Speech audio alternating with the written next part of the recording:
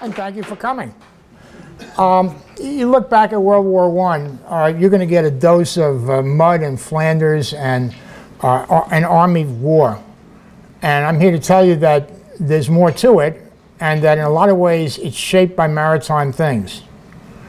Uh, the other issue that's worth, worth asking about is, are we in the 1914 situation now, right? I mean, a lot of people think so. Uh, if, if, you go back before World War I, uh, there's a, I'm, I'm looking at it from a British point of view, I should add. And we are more analogous to the British than, say, to the French. Uh, we're a maritime power. We are not contiguous with whoever we're worried about, unless Mexico decides to suddenly attack us. Um, if you were British before World War I, you thought a war was coming with Germany. Uh, I've been reading uh, British Naval Attache reports, and they talk about how uh, the German Navy is whipping people up.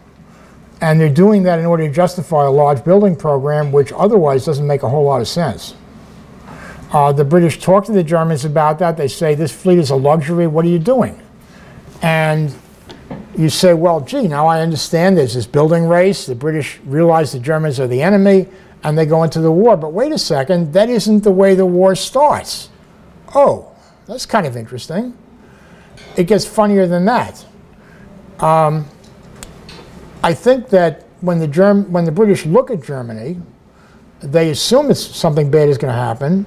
Once the war breaks out, I think that the British administration has a hard time not going into the war instantly because of that. They don't want to fight at all. It's a very pacifist administration, and they hold back. And I think the reason that Belgium mattered was it was basically saying you can't reverse this thing, it's not going to burn itself out. This is the real thing. That isn't the usual way you look at World War I. The other thing is, why did it happen? You know, you read a lot of novels about World War I, and it's a sort of uh, inhuman force that eats up a whole generation of people. And they never quite explain where it came from because obviously it's this monster that's sitting under every pavement in Europe. You know, we're all evil, warmongering types. And um, I never met anybody who was really pro war, but anti war people would say that a lot well, where did it come from? And uh, when I was uh, younger, the, the popular line was Barbara Tuchman's. There was this set of interlocking alliances, and once there was a spark, the whole thing was a tinderbox, and you know, it went up like smoke. And uh, it took me a long time to think about that. I don't think it's true. I think that Barbara Tuchman's book was really about the threat of accidental nuclear war. I think it was very popular because the Kennedy administration was obsessed with preventing an accident, which I don't think was ever going to happen. If you go back to the previous administration, uh, President Eisenhower, it occurred to him that no one was stupid enough to start a big nuclear war. Pretty obvious, you know? It's bad stuff. And uh, he says, it's common sense. Come on, wake up. Um, the common sense kind of dripped away in the 60s. You go back to before World War I well, did people think there was going to be a war? And the answer is no, most of them didn't. How come? Because they thought there was deterrence. Uh, the British, who were very commercially inclined, uh, had been told by various economists that if there were a big war in Europe, everyone would be ruined. By the way, very accurate statement. Uh, they concluded that no one would be that stupid. If you look at the alliance structure, the alliance structure is mostly about if you do something, bad things will happen to you, which is the way deterrents work. They didn't have that language then, but it doesn't matter, they had the ideas. Well, then the question is what was strong enough to break that deterrence, right? And by the way, the Germans were the closest trading partners of the British. A lot of people thought that that economic closeness made war impossible. Does this sound familiar to you? You know, the, the American Chinese economy is so vital to both of us, no one would be dumb enough to break it up. Well, so how come it broke up? And the answer has to be that there was something so bad that they felt that if they didn't fight, uh, it would be worse than, than peace. But what could be that bad? Well, if you read American and British historians, nobody proposes an answer, as far as I can tell. If you read German historians, some of them do. It goes like this, and you'll really love this one. Um, Germany was a very ramshackle type of system. They had a, a Reichstag which wasn't quite a parliament. The Reichstag would pass money bills, but they couldn't initiate things. And, uh, for example, they couldn't decide who was prime minister. They couldn't do the things you do in parliaments. Until uh, 1912, the Reichstag was fairly conservative. There was a Social Democratic Party which got the majorities in every election after 1890, but because the Reichstag was heavily gerrymandered, it didn't matter. Um, a lot of people at the top in Germany were very worried that something might happen, but they were able to stave it off. In the 1912 election, finally, so many people voted SDP that they, they got real power in the Reichstag.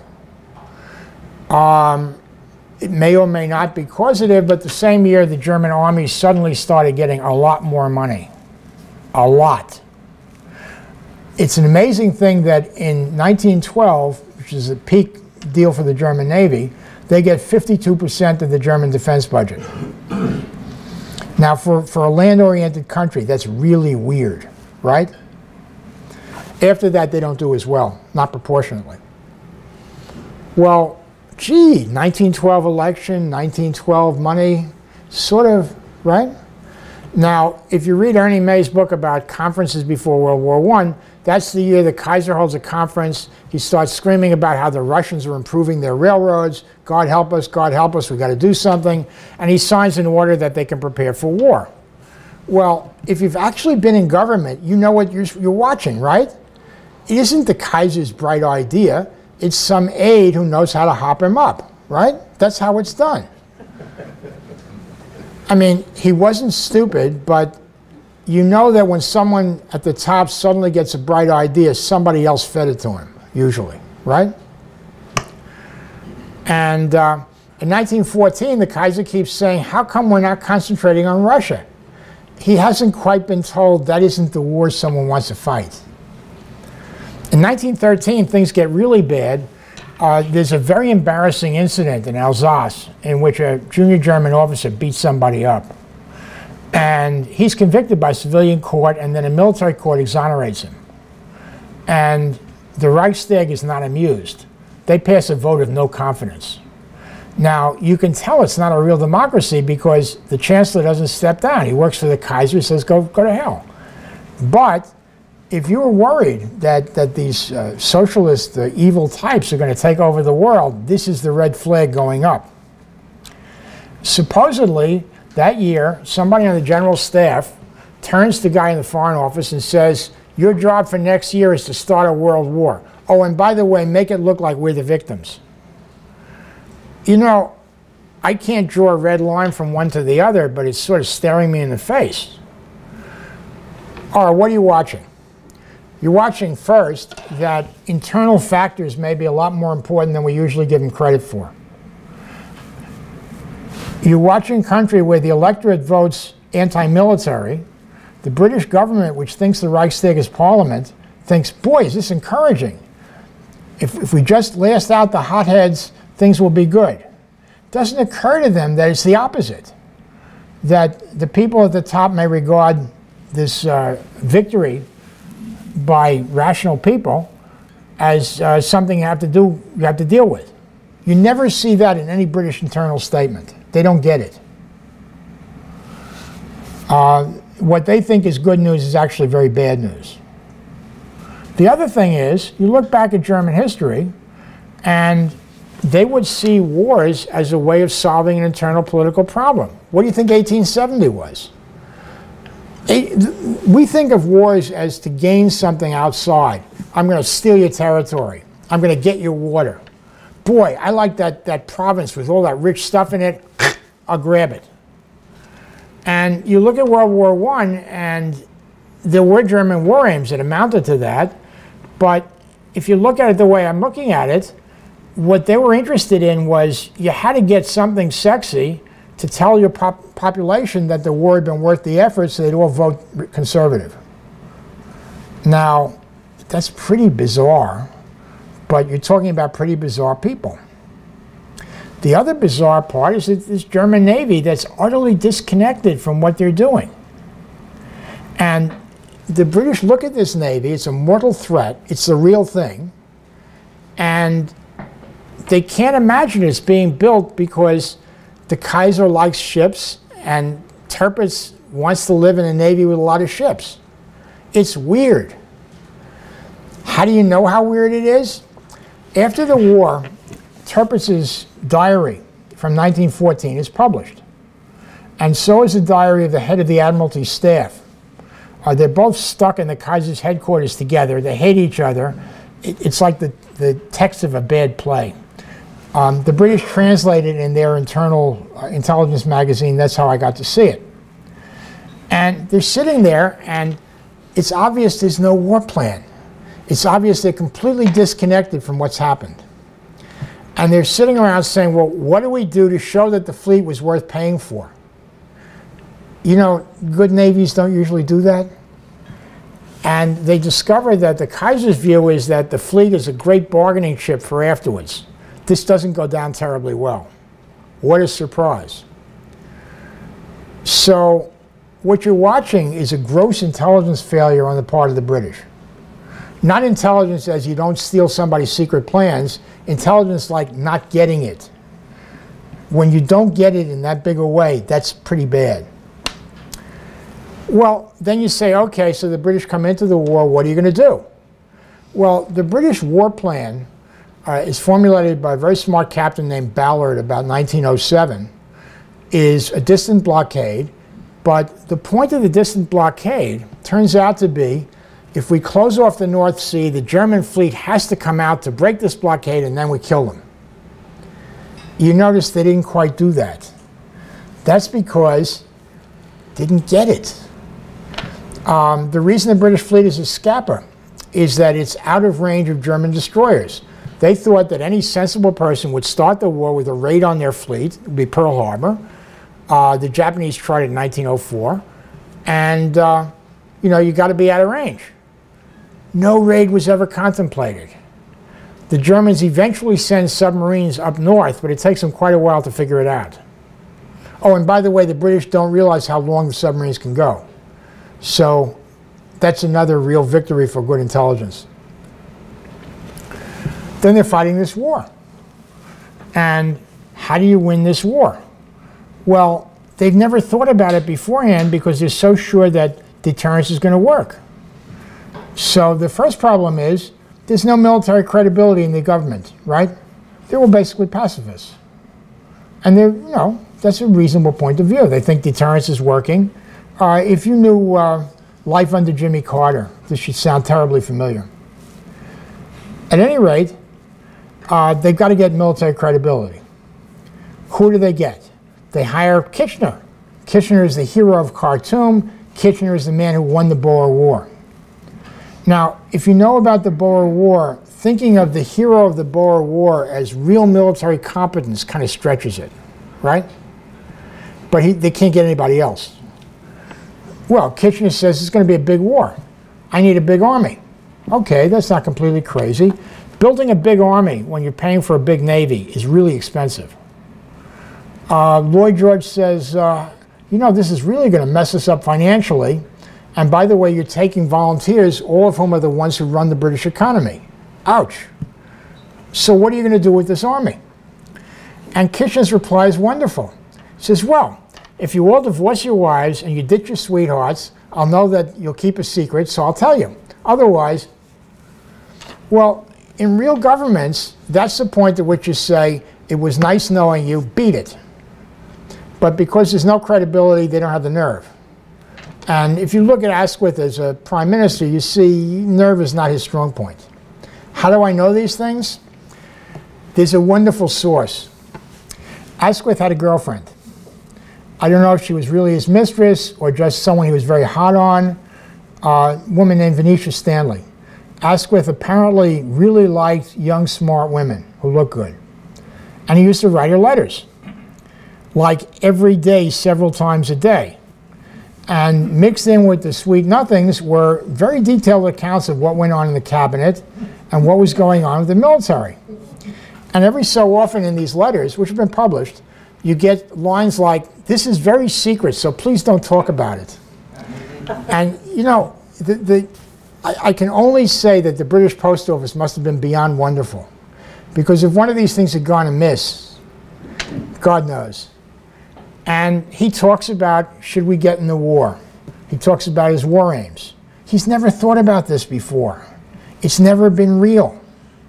It's not like the, the run up to war is everyone knows it's coming, oh my God, oh my God. It's the opposite.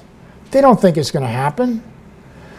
Once it starts happening, their own commander in France says to them, you know, by the way, the Western Front is not a decisive front. Nothing I can do to the Germans here, even if you give me a lot of troops, is going to have much effect. It's all going to depend on the East, the Russian steamroller. Once you figure that out, you suddenly realize that things like Gallipoli aren't weird little operations. They're the ones they should have pursued. But there's no mechanism which can talk seriously about the war strategy at that point.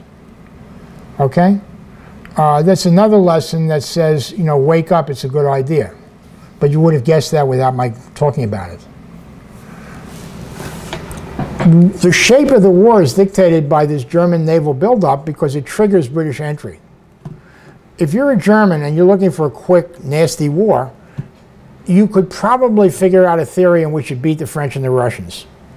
It might be a bad theory, you might not make it, um, the strength of defense might defeat you. The, the industrial depth of countries might defeat you. But you could take a shot at it. Once you get overseas, you can't get that anymore because you can't invade England easily by sea. They never really contemplated. And that means that any war you fight is likely to be drawn out. You start realizing this late in 1914 you start realizing you have to do something to defeat the British in some other way. That's where unrestricted submarine warfare comes from. The fact that the British have sea control pretty much, certainly until 1917, means that they can draw on resources outside of the UK. Uh, that means the Empire. That means a lot of Empire troops. You know about that. It also means the United States. So if you are serious as a German, you suddenly get terribly interested in putting us out of business or causing us to, to stay, stay out of it. And you do things that are very risky. You do unrestricted submarine warfare, which is illegal. You kill Americans in ships like Lusitania. Um, you finance sabotage of munitions plants in the United States, which is an act of war. Uh, you may be aware that there was a spectacular uh, sabotage uh, there was a big power plant called Black Tom in New Jersey, and they blew it up. And we knew they blew it up. And if uh, Wilson had not been quite as prickly, that would probably have brought us into the war. Um, when they reinstate unrestricted submarine warfare in 1917, they assume we'll come in, and they send that Zimmerman telegram to uh, their boy in Mexico, uh, please come into the war. You'll have a great time and you'll get back to southern United States. Uh, for some reason, Wilson doesn't appreciate the joke. But probably what brings us into the war is that the Germans use our diplomatic channels to send it to Mexico City. These are channels that have been made available so that they can do peace negotiations. I suspect that that drove Wilson completely around the bend.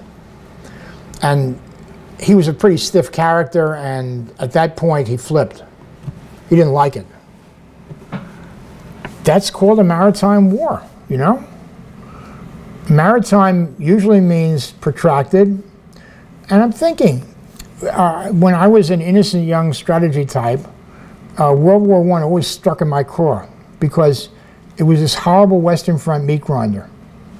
And when I looked at NATO in the 70s, all I could see was that unless someone got obliterated at the outbreak, it would be World War I, probably with tactical nuclear weapons to kill a lot more people. And surely there was some way to get out of this mess. Well, when I saw maritime strategy, that made me feel a whole lot better. Okay, well, then the question is how come the British do this mass attack on land, which kills a hell of a lot of people, like 600,000 or 800,000 Brits, and Australians and Canadians? Why? I mean, a lot of people were going to get killed in World War I, but why were they British? And why have to fight on the Somme and all those other horrible places? Well, the answer probably is that once they set Kitchener loose, they have this big army. Once you have a big army and someone, one of your allies says, help, I'm sinking, you got to use it.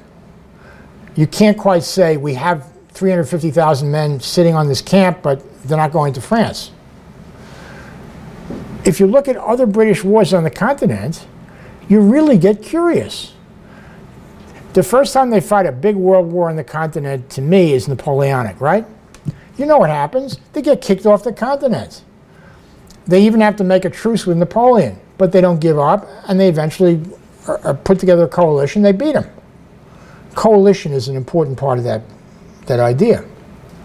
Oh, so how come in 1914, Asquith and his friends don't remember anything? Didn't they learn history in high school? Maybe not. Maybe it was only Latin and Roman history. You look at 1940. They learned something. They didn't build a big army. It didn't go to France. They had a moderate-sized army that went to France. You don't, you know, you don't completely give up. And when push came to shove, they got kicked off the continent. Oddly enough, they win the war. They wreck coalitions. That's what sea powers can do. If you get kicked out of some place, it's not permanent. When we used to talk about maritime strategy, one of the big lines was yeah, they can reach the channel, but the war isn't over. And the fact that the war wouldn't be over, which we publicized, would be rather sobering. Oh, you mean we can't end all our problems in three minutes? Ooh, that's not so good. That's really what World War I is about historically. That because it went maritime, the Germans couldn't exploit their big strength. Now, they came close anyway with the U-boat war, but there were solutions developed. Um, the war might not have ended as rapidly as it did. People were very surprised the way it ended. It may have ended because they lost on the Western Front. It may not have. You can make an argument that the French sometimes make that the decisive theater turned out to be Salonika in southern, southern Europe because when Austria-Hungary was knocked out of the war, that left the Germans with a completely unprotected flank. Can also make an argument, which I find kind of interesting, that the most sensitive part of Germany was eastern Germany where the Junkers had their estates. And they really cared about that. That makes schemes for operating in the Baltic a lot more rational. It really makes you angry that there wasn't any very good discussion.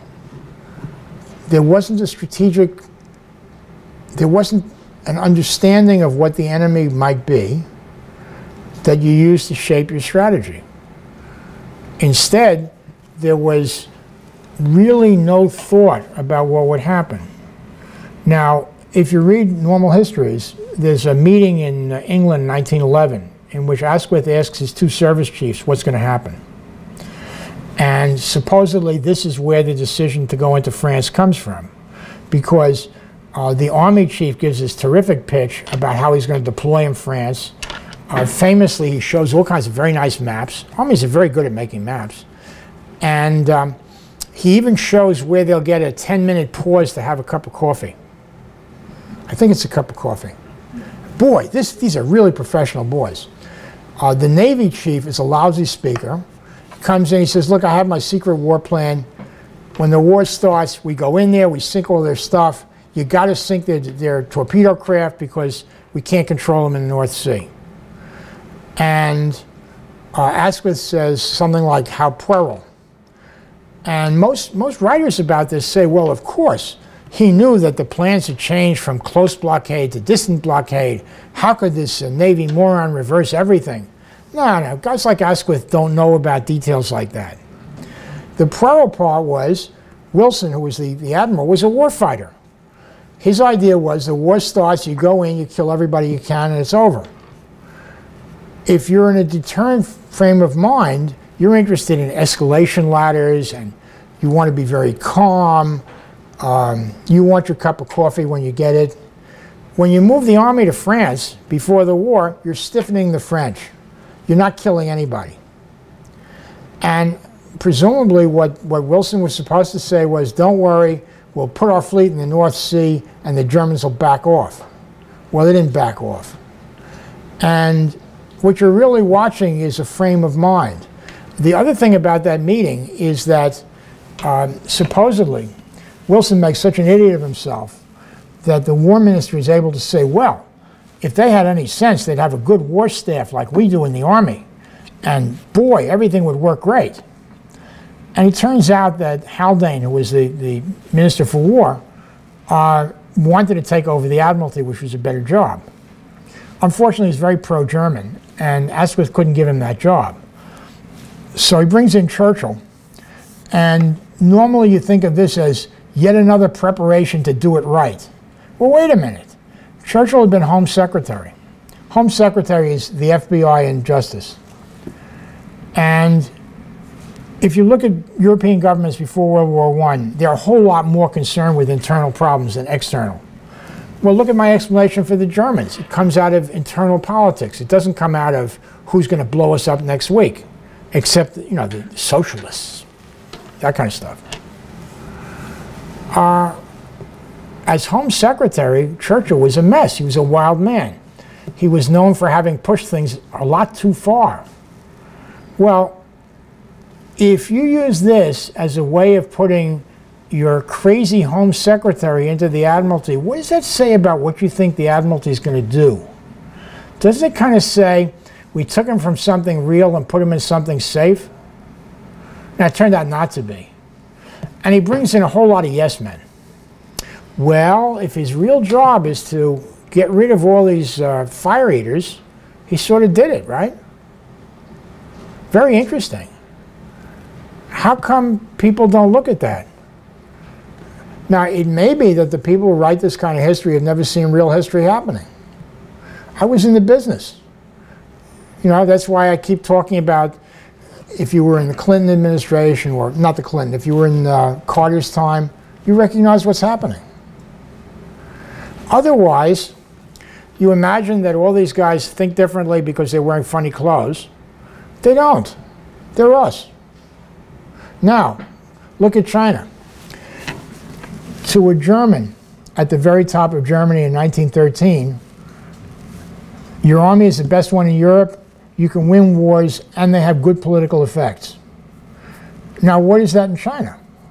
Well, what was their last big war? Korea, right? And then they had the little one against the Vietnamese, which wasn't a very happy war. Now, Chinese historians have written that Mao wanted to go into China as a way of exposing uh, anti-Maoist types and killing them. Uh, a lot of his other leadership was not that happy about the idea. They kind of got what was going to happen. I don't think if you're Chinese, you regard the Korean War as a terrific success. You might not regard it as an utter disaster, but you remember a lot of people got killed. By the way, uh, despite our idea that human waves could just be sacrificed like water, they remember how many of them got killed and they're not happy. All right, does that really incline you to think that a nice war solves all internal problems? Huh? It, it's not the same kind of country.